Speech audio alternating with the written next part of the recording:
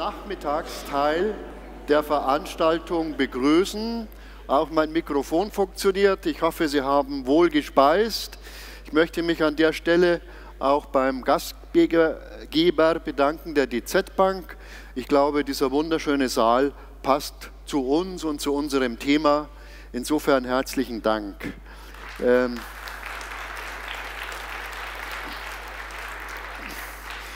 ich darf Ihnen jetzt Karl-Heinz Land ankündigen.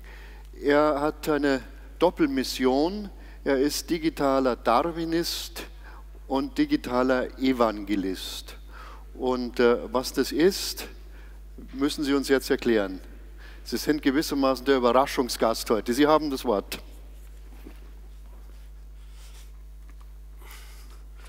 Ja, guten Tag, meine sehr verehrten Damen und Herren. Ich freue mich hier heute bei der Ludwig-Erhard-Stiftung sprechen zu dürfen. Thema digitaler Darwinismus. Äh, der Charles Darwin hat die Evolutionslehre begründet, erfunden. Und Evolution ist nicht unbedingt was Schönes.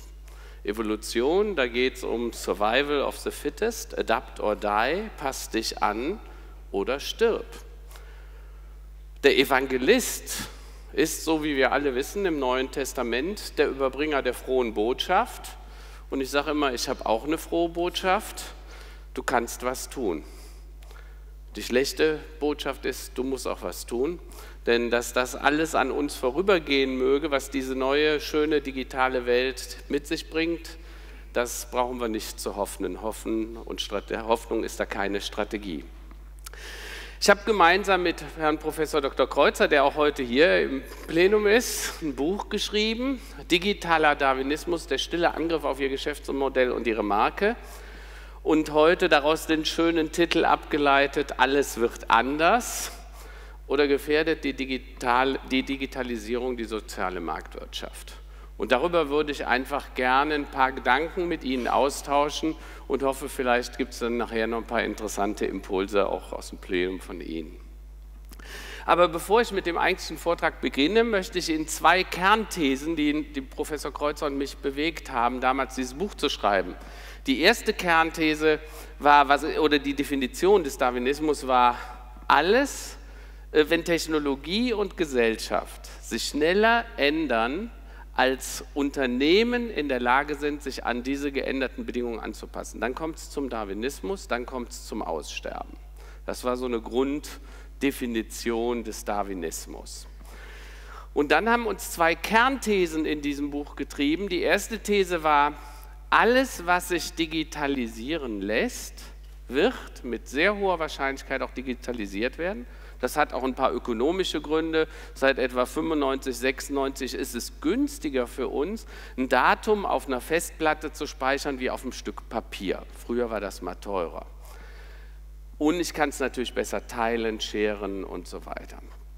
Die zweite Kernthese war, alles, was sich automatisieren lässt, wird sich, wird auch automatisiert werden. Wir werden nachher noch feststellen, dass gerade diese Kombination zwischen, wenn es erstmal digitalisiert ist, sich, lassen sich die Dinge auch wunderbar automatisieren. Und darüber geht es auch, weil das ist der Kern, die Kernthese, was sich in unserer Gesellschaft auch im Arbeitsleben ändern wird. Ich habe Ihnen ein Bildchen mitgebracht und normalerweise frage ich dann bei diesem Bild, finde den Unterschied. Und das ist jetzt eine Papstaudienz 2005 und 2013. Jetzt geht es mir gar nicht darum, dass Sie feststellen, naja, die haben jetzt alle Handys und Tablets und halten die hoch. Wer geht denn eigentlich noch mal zu einer Papstaudienz? Sind das die 12- bis 17-Jährigen? Eher nicht. Ne? Das sind Menschen wie Sie und ich wir haben in diesen wenigen Jahren unser eigenes Verhalten so radikal geändert. Wir sind das, die diese Änderung herbeigeführt haben. Und man muss das auch für sich erkennen, alles, wo ich heute drüber spreche, das gab es vor acht Jahren noch gar nicht. Dieses kleine Gerät, von dem man in die letzten Jahre erzählt hätte, es sei ein Telefon, ist übrigens eine blanke Lüge, ist ein Computer. Damit kann ich auch telefonieren. Mehr recht als schlecht seit dem letzten Update, aber prinzipiell geht's.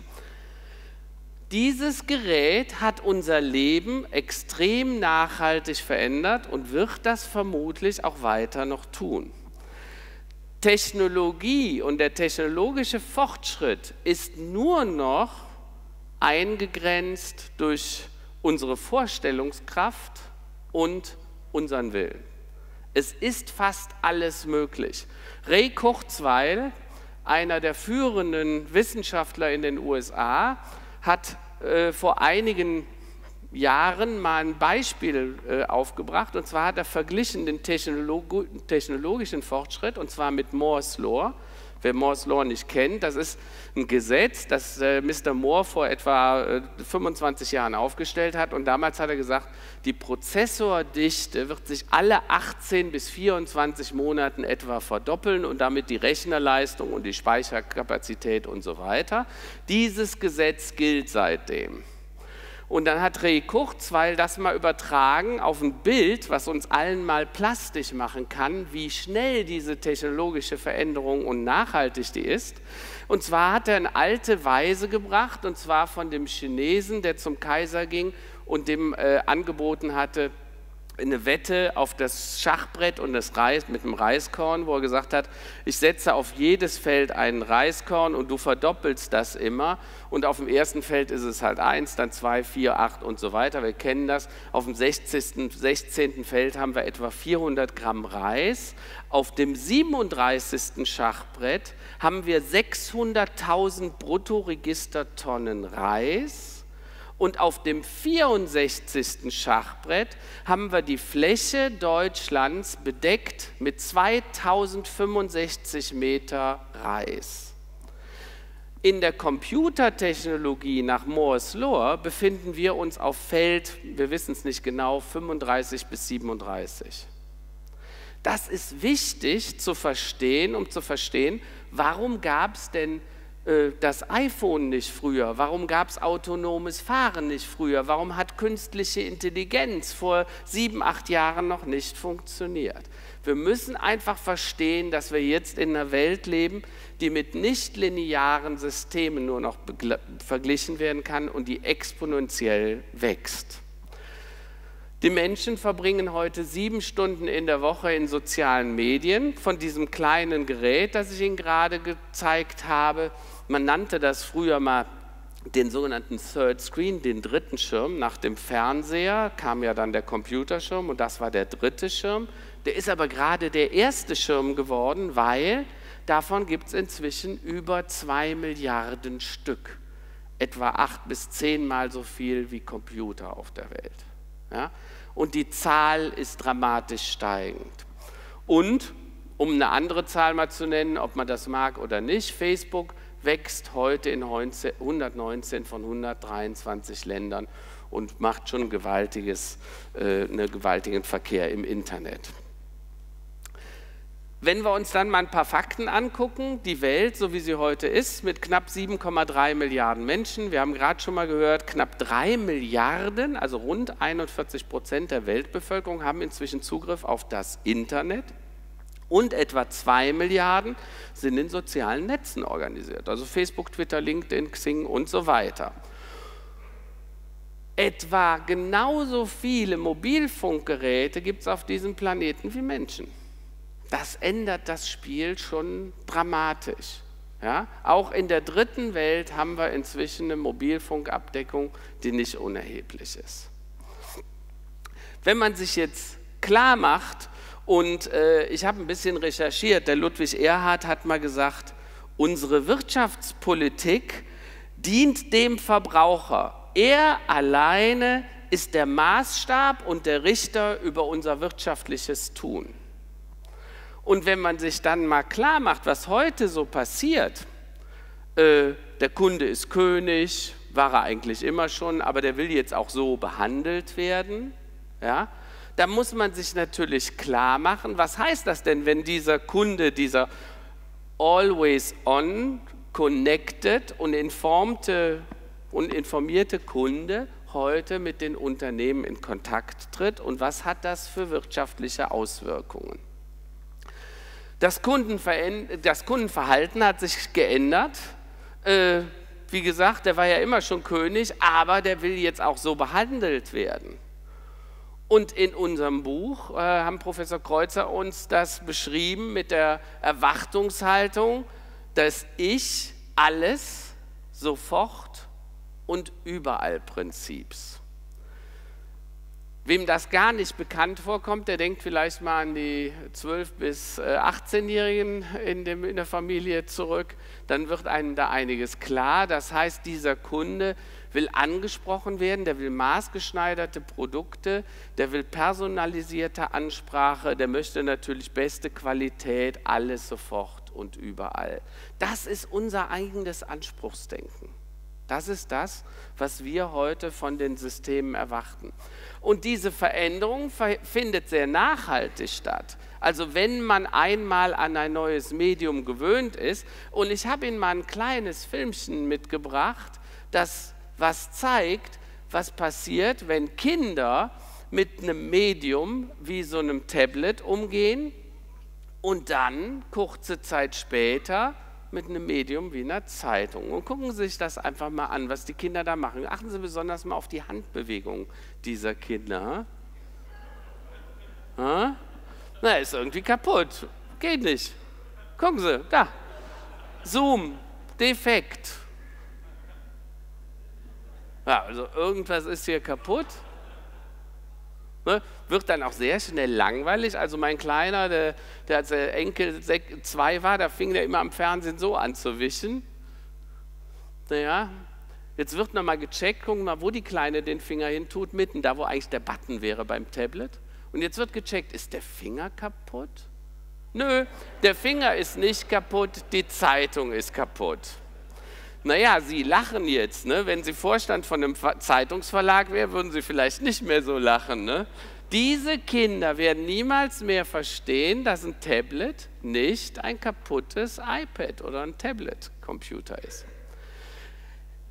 Das zeigt die Nachhaltigkeit. In unserem Buch haben wir versucht, das in den Kontext zu bringen, weil es geht nicht um ein neues Betriebssystem. Es geht auch nicht irgendwie darum, dass wir ein Tablet haben oder ein neues Smartphone.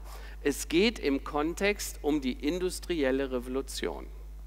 Und ich möchte Sie damit nochmal äh, bitten, mit mir zurückzugehen. 1750, als in England die erste Dampfmaschine entstanden ist 1750, äh, da gab es noch nicht die Verstädterung. Erst mit den ersten Fabriken kamen die Arbeiter, mit den Arbeitern kamen die Siedlungen, mit den Siedlungen kamen die Städte, mit, den, äh, mit der Organisation kamen dann Gewerkschaften, es entstand ein Mittelstand und daraus entstand dann in der Folge die Demokratie.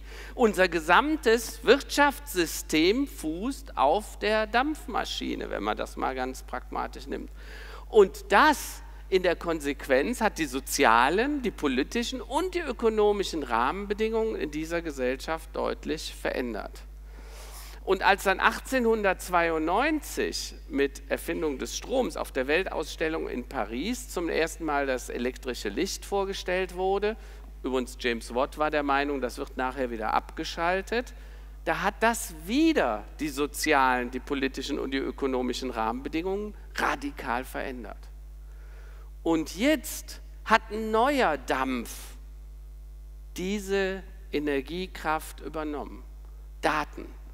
Wir sind in der dritten Stufe der industriellen Revolution, in der digitalen Revolution. Und diese digitale Revolution wird die sozialen, die politischen und die ökonomischen Rahmenbedingungen wieder radikal, vielleicht so radikaler als die ersten beiden vorhergegangenen Revolutionen, verändern. Dann fragen die Menschen, gibt es dafür denn äh, schon Beispiele, Belege? Und da sage ich, ja, denken Sie doch mal an äh, den äh, Ägypt, äh, äh, arabischen Frühling ohne Twitter äh, und Facebook. Also da hatten die Menschen nur ein Handy und einen Twitter-Account und die konnten damit sich so organisieren, dass sie ein Regime stürzen konnten. Früher, wenn sie eine Revolution geplant haben, dann mussten sie eine Zeitung übernehmen, sie haben einen äh, Fernsehsender besetzt oder äh, äh Propaganda übers Radio gemacht. Jetzt reichte über soziale Medien sich zu organisieren und letztendlich damit eine Revolution herbeizuführen. Das war Demokratisierung von Medienmacht. Darum geht es eigentlich. Demokratisierung. Und genau die gleichen Mechaniken gelten, wenn es um Vertriebsmacht, Marketingmacht, Produktionsmacht. Denken Sie an 3D-Drucken, wo wir in Zukunft selber Dinge produzieren, selber drucken werden auf den Gerätschaften, die wir zur Verfügung haben.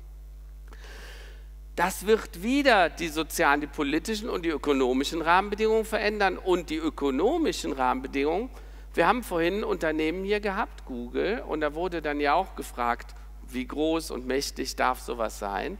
Wenn Sie sich einfach nur mal vorstellen, es gibt in den, äh, in den USA inzwischen fünf Unternehmen, Google, Apple, Facebook gehören dazu, die haben zusammen eine Marketkapitalisierung, die ist doppelt so groß wie die aller Unternehmen im deutschen Aktienindiz zusammen.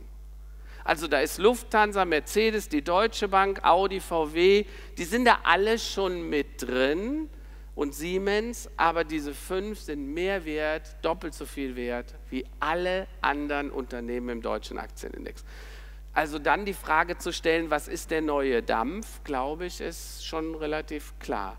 Äh, dann kann man sich natürlich immer fragen, was produziert denn Google oder Facebook außer Daten? Ja? Also das ist schon passiert. Und jetzt gehen wir in die nächste Stufe dieser Revolution. Die Stufe, die wir nennen Dematerialisierung. All die Dinge, die wir kennen, die uns lieb geworden sind, Schlüssel, Geld, Münzen, Kreditkarten, Tickets, Loyalty-Card-Programme, ähm, die dematerialisieren und werden zur Software. Was heißt das eigentlich?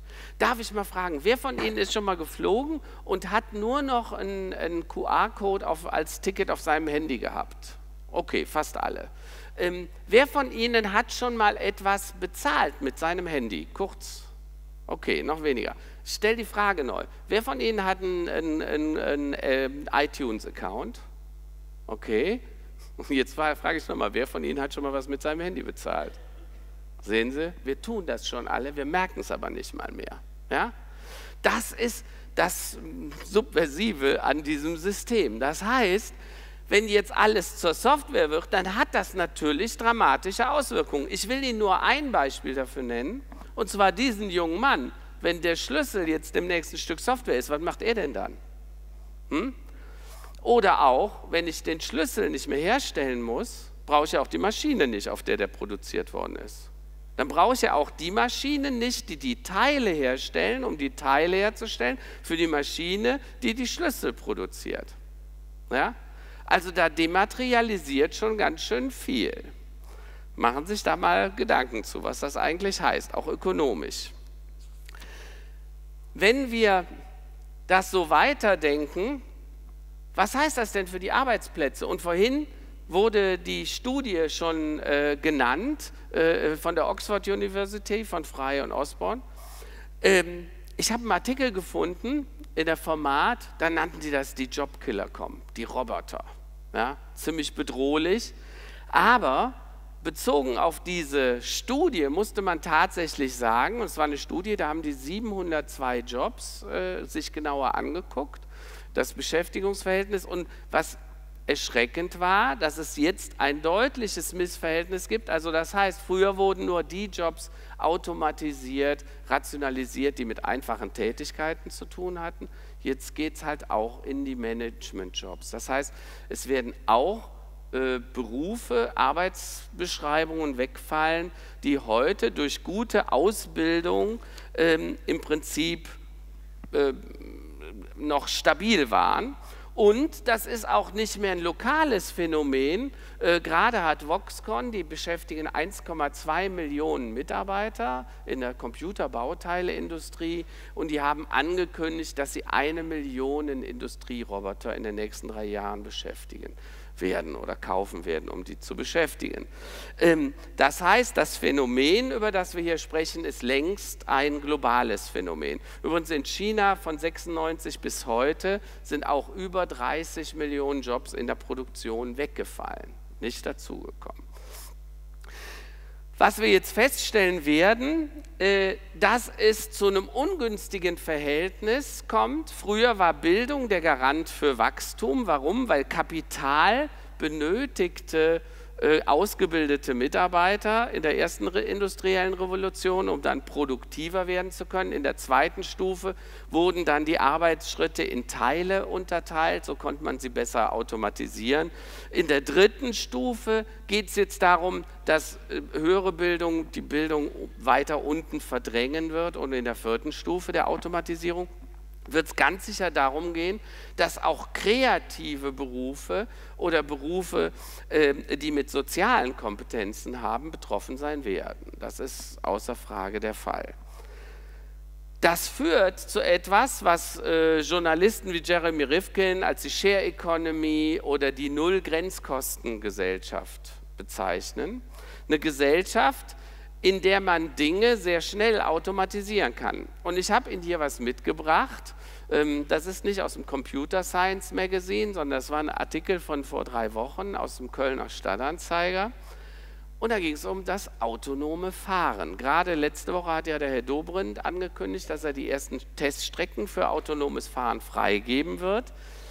Was heißt das denn, wenn jetzt ein Auto so autonom fahren kann? Also erstens ist das eine reine Folge der Digitalisierung, weil wenn das nicht digitalisiert wäre, könnte das nicht autonom fahren. Das hat natürlich eine Konsequenz. Ne? Wenn das Auto erstmal autonom fährt, dann brauche ich auch keine Taxifahrer mehr. Und dann demnächst keine Lkw-Fahrer, weil die werden mit hoher Wahrscheinlichkeit dann demnächst auch autonom fahren. Das heißt, hier findet eine massive und wird eine massive Verschiebung in der Beschäftigung stattfinden, auf die wir uns einfach frühzeitig einstellen müssen. Und wenn man mal überlegt, ich habe einfach mal eine Rechnung durchgeführt, wenn das so ist wie in der Share Economy, also bei ähm, einem gescherten Auto sag, sagen verschiedene Unternehmen, ist das Verhältnis zwischen Besitzer und äh, äh Benutzer 1 zu 15. Jetzt stellen Sie sich mal vor, das wäre in der deutschen Automobilindustrie auch so. Immer mehr Leute ziehen in der Stadt. Meine Söhne sind 23, 26, leben in Köln. Die wollen gar kein Auto mehr haben. Die sagen, wir machen Car2Go, wir scheren das. Wenn die das alle machen, was wäre denn, wenn wir 70 Prozent unserer Autos in Zukunft nicht mehr produzieren müssen?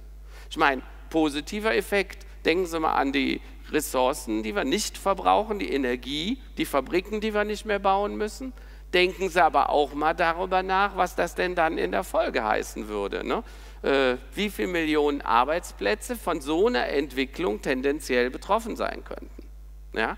Und ich glaube, dass hier ein ganz wichtiger Ansatz ist, wo die Politik tatsächlich frühzeitig eingreifen muss und sich mit den äh, Dingen auseinandersetzen muss, die da auf uns zukommen, einfach weil es so exponentiell rasant geht.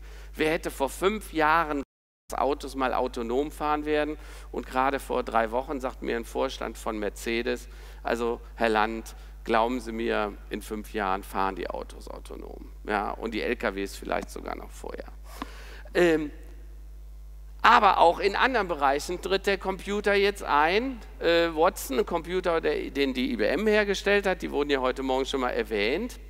Und IBM hat ein Computerprogramm geschrieben, das zum Beispiel äh, Ärzten hilft, nach bestimmten Symptomen zu äh, suchen. Wenn ich also eine Million äh, Patienten habe und ich suche nach einer bestimmten Systematik, dann kann Watson für die Ärzte während des Meetings innerhalb von 15 Sekunden mal eben eine Million Krankenakten oder 100 Millionen Geschäftsberichte durchforsten. Damit wird klar, die Leute, die früher diese Research gemacht haben, die werden wir mit hoher Wahrscheinlichkeit in Zukunft nicht mehr brauchen. Auf der anderen Seite muss man auch ganz nüchtern sagen, 1825 haben wir im Schnitt über 80 Stunden die Woche gearbeitet. Heute arbeiten wir irgendwie so um die 38,5 Stunden. Und wenn die Hälfte der Arbeit weg ist, dann arbeiten wir eben noch 20 oder 25 oder 15 Stunden die Woche. Wir müssen uns halt nur klar machen, was das für die sozialen, die politischen und die ökonomischen Systeme heißen würde. Ja? Also ich könnte da durchaus mit leben mit einer 20-Stunden-Woche. Ja? Ich weiß nicht, wie das Ihnen geht. Aber man darf das nicht so finster zeichnen. Was uns aber klar sein muss, dass jetzt so, wie wir früher gewachsen ist, wie ist denn Prosperität in den letzten Hunderten von Jahren in Deutschland entstanden? Prosperität und wirtschaftliches Wachstum fand zu Beginn an den Verkehrswegen statt. Die ersten Verkehrswege waren die Wasserwege. Der Rhein war in Deutschland der bedeutendste Fluss und damit alle reichen Städte waren am Rhein, entlang des Rheines. Dann kamen die Autobahnkreuzungen und die Autobahnen wurden gebaut. Damit wurden die Autobahnen das Drehkreuz für Prosperität. Überall da, wo die großen Autobahnkreuze waren, da waren die, Wohl, die, die wohlhabenden Städte, die Industriezentren. Denken Sie nur ans Ruhrgebiet. Und jetzt wird das Netz zur Infrastruktur. Wenn das Netz die Infrastruktur ist und all die Dinge, die wir heute so machen, von Bezahlen über Flüge buchen, Tickets und so weiter bis hin zum 3D-Drucken, über dieses Netz passiert, dann müssen wir sicherstellen, dass dieses Netz optimal ausgebaut ist. Ich kann da immer nur ähm, den Tim Höttges von, von der Telekom unterstützen, der sagt, ja, ja, wir würden ja gerne noch mehr ins Netz stecken, aber wir müssen dann auch äh, Maut dafür erheben dürfen. Das heißt, da muss man auch der Politik zugestehen, dass sie äh, die Wirtschaft entsprechend unterstützt. Und ich habe ein paar Kernzahlen mitgebracht. Etwa in sechs Jahren, fünf bis sechs Jahren, werden 30 Milliarden Dinge im Internet der Dinge miteinander sprechen und werden Industrie 4.0 oder wie ich immer sage, Wirtschaft 4.0 ermöglichen. Das Internet der Dinge wird zu diesem Zeitpunkt etwa 1,9 Billionen Dollar Wertschöpfung produzieren. Die Hälfte dieser Aktivitäten wird von Startups gemacht, von Startups, so wie Uber, die heute vielleicht noch nicht mal gegründet sind. Die andere Hälfte wird von den anderen etablierten Playern. Und 80 Prozent dessen, was da produziert wird, wird kein Produkt sein im herkömmlichen Sinn, sondern Software, eine Dienstleistung, ein Service. Wir müssen dazu kommen, speziell am Standort Deutschland, wir sind ja Exportweltmeister, wir müssen heute so in Software denken, wie wir früher in Maschinen, Autos und Anlagen gedacht haben. Ich habe mit Herstellern von Ventilatoren gesprochen, die sagen, heute ist 50 Prozent der Entwicklung ist nicht mehr Hardware beim Ventilator, sondern Software. Das gilt für alle Bereiche. Und manche Bereiche, nochmal den Schlüssel, werden vielleicht komplett ersetzt werden. Wir haben uns dann angeguckt bei Neuland, wir beraten ja Unternehmen in Fragen der digitalen Strategie und Transformation, wie ready ist denn Deutschland digital? Und dann haben wir 13 Industrien gemeinsam mit der Wirtschaftswoche uns angeschaut, von der Automobilindustrie über den Handel bis runter zur Industrie und haben festgestellt, da gibt es ziemlich große Unterschiede. Wir haben auch festgestellt, da gibt es sehr große Bandbreiten. Ne? Also hier im Handel beispielsweise sind ein paar sehr gut, aber auch ein paar sehr schlecht. Dann haben wir gesagt, naja, okay, was heißt das denn eigentlich? Und sind mal reingedrillt und dann haben wir einen Index veröffentlicht im Oktober vorletzten Jahres aus dem Handel. Und ich zeige den heute noch, weil eine Woche bevor wir diesen Bericht veröffentlicht hatten, hatte Praktiker Insolvenz angemeldet und die Promarkt, naja, die befinden sich eigentlich so ein bisschen in der Auflösung seitdem. Das heißt, wir haben uns die Frage gestellt, ist denn Deutschland wirklich ready für diese digitale Welt? Haben wir denn das Rüstzeug? Und hat das vor allen Dingen, gibt es eine Verbindung zwischen wirtschaftlichem Erfolg und digitaler Readiness oder wie ich immer sage, Fitness? Und dann sind wir auf eine Studie gestoßen vom MIT, Massachusetts Institute of Technology in Boston, und die hat ein paar interessante Zahlen geliefert und die will ich mit Ihnen teilen. Und zwar haben die 400 Unternehmen angeschaut, auf die, äh, ob, sie Wirtschaft, äh, ob sie digital savvy sind, wie sicher sind sie in den Dingen, die sie tun und wie sieht das mit den Finanzzahlen aus. Und da hat man festgestellt, Unternehmen, die digital savvy sind, die machen im Schnitt 9% mehr Umsatz, die sind 26% profitabler und die haben eine 12% bessere Bewertung am Markt, also ein Marktwert, ein Unternehmenswert. Und dann haben wir uns natürlich gefragt, warum ist das denn so? Warum sind Unternehmen, die digital savvy sind, so viel mehr wert, beziehungsweise warum sind die so viel effizienter? Und ich will Ihnen das erklären am Beispiel mit Henry Ford. Der Henry Ford hat weder das Automobil erfunden, noch hat er das Fließband erfunden. Aber er hat die Serienfertigung des Automobils auf dem Fließband erfunden.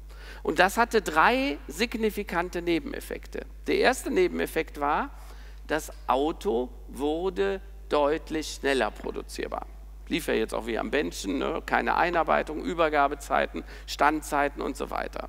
Der zweite Effekt, das Auto stieg in der Qualität, wurde also deutlich besser. Warum? Wurden weniger Fehler gemacht, mehr Routine, immer wiederkehrende Arbeiten und so weiter, wurde nichts mehr vergessen. Der dritte Effekt, das Auto wurde deutlich günstiger.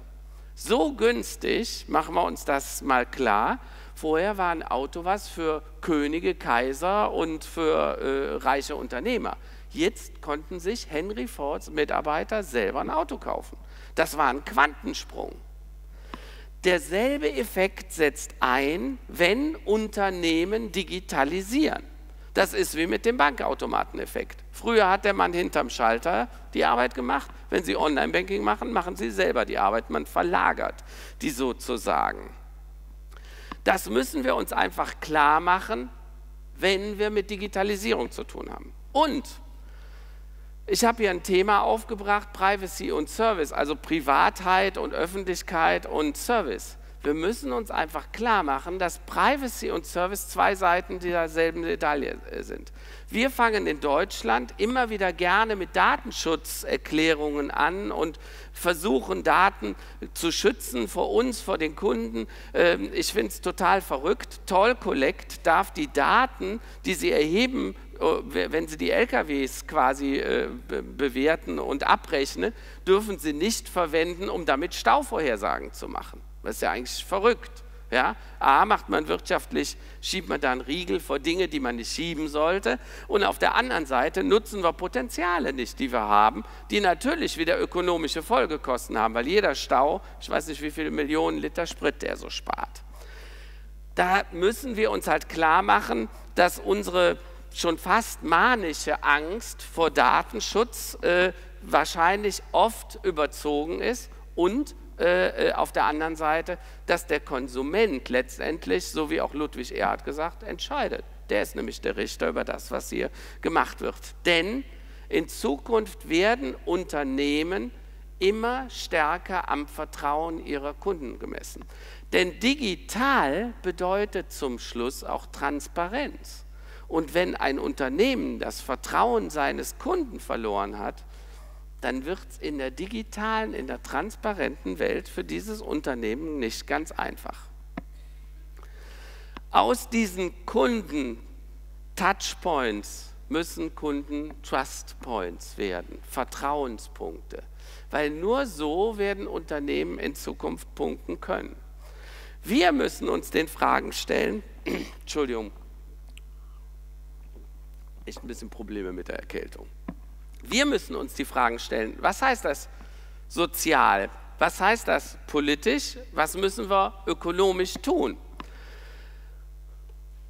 Jeremy Rifkin geht so weit, dass er sagt, ist das das Ende des Kapitalismus? Ist das das Ende unseres Wirtschaftssystems, wenn wir alles miteinander teilen, die Autos, Airbnb, die Zimmer und so weiter?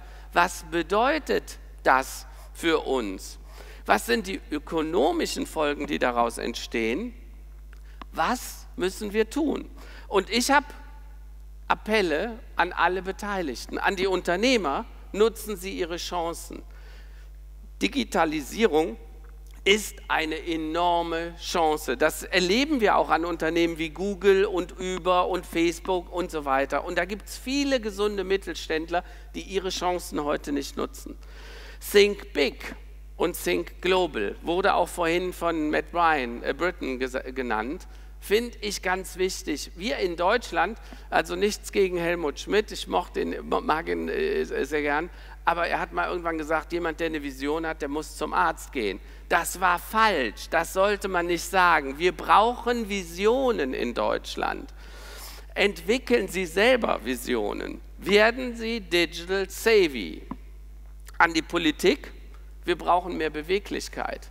Wir brauchen mehr Diskussion auf Augenhöhe. Wir müssen uns nicht vor Amerikanern verstecken, aber wir brauchen auch vergleichbare Regelwerke. Es kann nicht sein, dass Google, Facebook, Apple alles mit den Daten machen können und wir selber können bei Beispiel Toll Collect gar nichts damit machen. Was ist denn demnächst mit dem Connected Car? Wem gehören denn dann die Daten, die das Auto produziert, um mir zu sagen, wo der nächste Stau ist? Ja?